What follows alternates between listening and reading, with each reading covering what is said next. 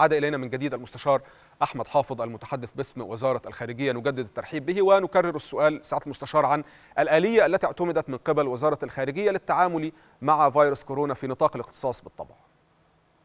تمام مساء الخير. أهلا وسهلا الحقيقة تنفيذا لتوجيهات السيد الرئيس بالنسبة لترتيبات عودة المصريين المقيمين في مدينة ووهان أو بالأحرى عودة من يرغب من إخواننا المصريين في مدينة ووهان وفي إطار تنفيذ وزارة الخارجية ذلك وفي إطار جهود السفارة المصرية في بكين برئاسة السفير محمد البدري. والحقيقة الدكتور محمد البدري الجهود متواصلة تقريبا من أول ما الأحداث بدأت في تواصله مع الجانب الصيني من ناحية ومع أبنائنا المصريين في مدينة ووهان من ناحية أخرى.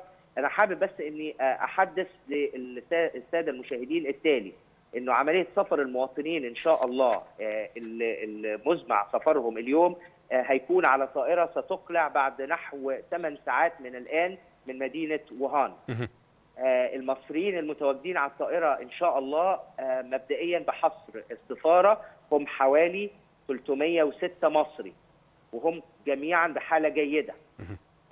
هناك بعض المصريين الذين لم يرغبون في العودة وطبعا ده ليهم مطلق الحرية ولكن من رغبوا جميعا هم 306 وسيستقلون الطائرة اليوم اللي هتعود إلى أرض الوطن إن شاء الله.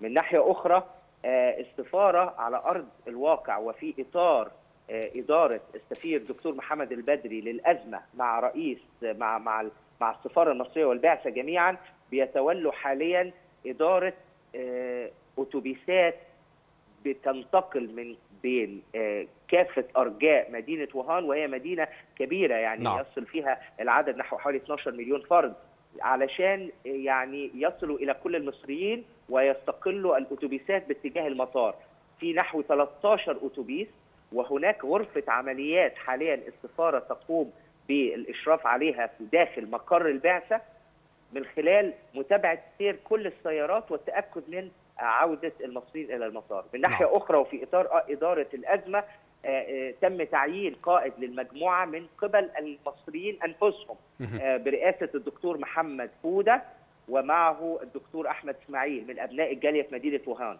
وأيضا تم تقسيم المصريين إلى عدد من المجموعات الفرعية على كل واحد فيهم قائد بحيث يتم التنسيق. من ناحية أخرى السفارة بتنسق حاليا بشكل مستمر مع السلطات الصينية والجهات الصينية كلها في مدينة ووهان وفي بكين والأمن الصيني بشكل مستمر مع تقديم الدعم القنصلي لكل المواطنين. يعني على سبيل المثال لو حد بالصدفة باسبوره مش معاه أو كان دخل المدينة ومعهوش وثيقة بيتم التأكد إن السفارة يعني لا يحول ذلك دون سفره من قبل الجانب الصيني. وأكد للمواطن المصري حاجة ثانية إذا سمحت لي السفير محمد البدري سافرنا في الصين كان راغب في الذهاب بنفسه إلى مدينة ووهان وبقاله يمكن سبع ثمان أيام بيطلب ده لكن الجانب الصيني رافض صحيح. دخول السفارة دخول السفير أو أي واحد من السفارة إلى المدينة لأنه إذا دخل لازم هيدخل حجر صحي هو نعم. كمان